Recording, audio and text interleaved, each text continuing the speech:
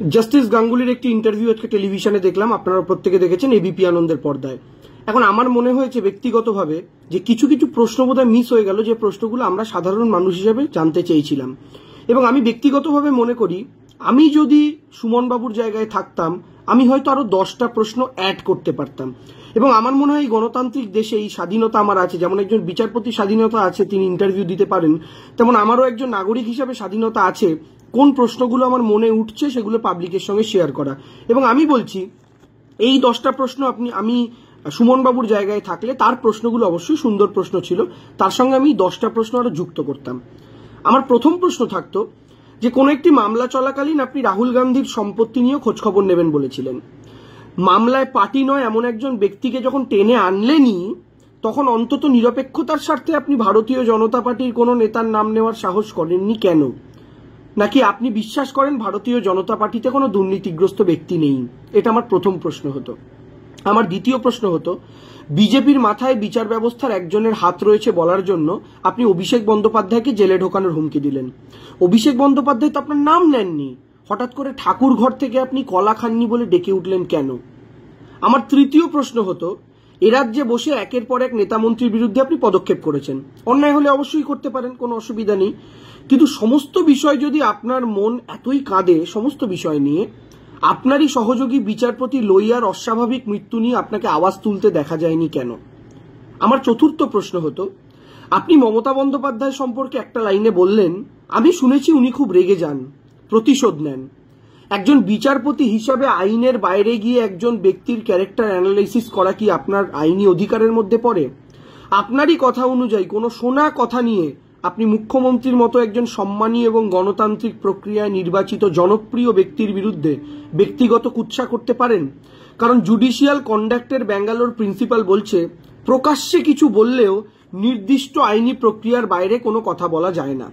মুখ্যমন্ত্রী প্রতিশোধ পরায়ণ কিনা, তিনি রেগে যান কিনা সেটা কি আপনার এজলাসে আসা কোনো মামলার আইনি বিষয়ের মধ্যে পড়ছে? যদি পড়ে, সেটা কত নম্বর ধারায়? কার দায়ের কথা কোন পিটিশনের ভিত্তিতে আপনি এই বক্তব্য রাখলেন? পাঁচ নম্বর প্রশ্ন করতাম, এতই যদি নিয়ম মেনে আপনি চলেন তাহলে অনুব্রত মণ্ডলের কন্যাকে তার টেট পাসের সার্টিফিকেট ও অন্যান্য তথ্য জমা দিতে বলে তাকে সুদূর বোলপুর থেকে কয়েকশো কিলোমিটার যাত্রা করিয়ে এনে পুনরায় তাকে ফিরে যেতে বললেন কেন? আপনি বা আপনার আদালত কি তার কলকাতা অবধি আসার খরচ বহন করেছেন? ভুলবশত তাকে ডাকিয়ে আনার জন্য কি আদালত দুঃখ প্রকাশ করেছে? আমার ছ নম্বর প্রশ্ন হতো, প্রাজ্ঞ আইনজীবী অরুণাভ গাঙ্গুলি প্রকাশ্যে বারবার দাবি করেছেন, আপনি নাকি আইনের কিছুই জানেন না। আপনার বহু নির্দেশের ক্ষেত্রেই নাকি আইনকে অমান্য করা হচ্ছে। সাধারণ মানুষ আইনের এত জটিল বিষয় বোঝেন না। একদিকে আপনি যখন হিরো হচ্ছেন, তখন আরেকজন ব্যক্তি আপনার পদক্ষেপ সম্পর্কে প্রশ্ন তুলে দিচ্ছেন। জনসাধারণ দ্বিধাগ্রস্ত। সেক্ষেত্রে আপনি যখন মিডিয়ার সামনে ইন্টারভিউ দিতে রাজি হলেনই এবং দিলেনও, তখন এই চ্যানেলেই অ্যাডভোকেট অরুণাভ গাঙ্গুলির সঙ্গে সরাসরি বিতর্কে অংশগ্রহণ করে জনসাধারণের সামনে সত্য উন্মোচন করতে কি আপনি চাইবেন? সাত নম্বর প্রশ্ন আমার থাকতো। বহু মানবিক রায় আপনি এর আগে দিয়েছেন কথা সত্য। ভারতবর্ষের পিছিয়ে পড়ার পেছনে দুর্নীতি যে একটি মূল কারণ সেটি অনস্বীকার্য। কিন্তু চোখের সামনে যাই দেখা যাক না কেন, আইনের বাইরে গিয়ে কি আবেগী হয়ে কোনো সিদ্ধান্ত নেওয়া যায়? যেমন ধরুন, অঙ্কিতা অধিকারী অযোগ্য হিসাবে চাকরি পেয়েছেন। একথা সত্য। কিন্তু কথাও কোথাও প্রমাণ হয়নি যে তিনি তার মন্ত্রী বাবার প্রভাব কাজে লাগিয়ে চাকরিটা পেয়েছেন। সেই অঙ্কিতা অধিকারী যে মামলার পার্টি, নন, সেই মামলাতে কাউকে কর্মজীবনের সমস্ত পারিশ্রমিক ফিরিয়ে দিতে বলা হলে সেটাকে তো শাস্তি হিসাবেই গণ্য করা হবে। এখন কোনো একজন ব্যক্তি যদি শাস্তি পান, তিনি সেই মামলার অংশ না হয়ে কি করে শাস্তি পেতে পারেন? আত্মপক্ষ সমর্থনের সুযোগ না পেয়ে কি করে থাকতে পারেন? এদেশে তো আজমল কাসফকেও আত্মপক্ষ সমর্থনের সুযোগ দেওয়া হয়। হতে পারে আপনার সিদ্ধান্ত একদম সঠিক। হতে পারে সে দুর্নীতিগ্রস্ত। হতে পারে দুর্নীতি করেই তার চাকরি হয়েছে। কিন্তু তারপরেও প্রশ্ন থাকে, এ কাজ কি আইন মোতাবিক ছিল? এভাবেই যদি আগামীকাল পার্থ চট্টোপাধ্যায় দাবি করেন, চাকরিগুলি তিনি টাকার বিনিময়ে দেননি, বরং মানবিকতার খাতিরে দিয়েছিলেন, কীভাবে প্রমাণ করা সম্ভব হবে? তিনি দুর্নীতির মাধ্যমে চাকরি দিয়েছেন। সেক্ষেত্রে কি জাস্টিস হবে? পার্থ চট্টোপাধ্যায়ের মতো ব্যক্তি যদি সত্যিই দুর্নীতির সঙ্গে যুক্ত থেকে থাকেন, তিনি এই আর্গুমেন্ট কাজে লাগালে কি সত্যিই বিচারের বাণী নীরবে নিবৃতে কাঁদবে না? আমার আট নম্বর প্রশ্ন থাকতো, ভবিষ্যতে রাজনীতিতে আসার ইঙ্গিত আপনি দিয়ে রাখলেন। বক্তব্যের মাঝে বারবার উঠে আসছিল বিকাশ রঞ্জন ভট্টাচার্যদের সঙ্গে আপনার ঘনিষ্ঠতার কথা। এইদিকে কেন্দ্রের শাসক দল ভারতীয় জনতা পার্টি ও তাদের নেতাদের সম্পর্কে আপনি সম্পূর্ণ নিশ্চুপ ছিলেন। এরপরে বাংলার মানুষ যদি কোনো রকম সরলীকরণের চেষ্টা করেন, ভুল করবেন কি? আমার ন নম্বর প্রশ্ন থাকত। অনেক কথারই আপনি উত্তর দিলেন। চতুর্দিকে বিচার ব্যবস্থা নিয়ে প্রশ্ন উঠছে শুনে আপনি কিঞ্চিত বিব্রত রাগান্বিত হলেন।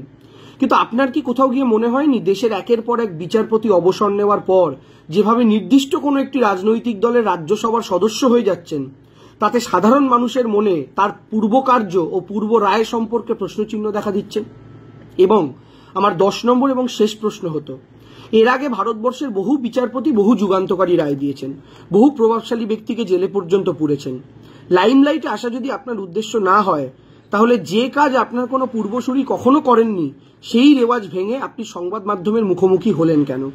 আপনি তো কোর্টরুমের মধ্যেই আপনার দুর্নীতি বিরোধী বিপ্লব চালিয়ে যেতে পারতেন অনায়াসে।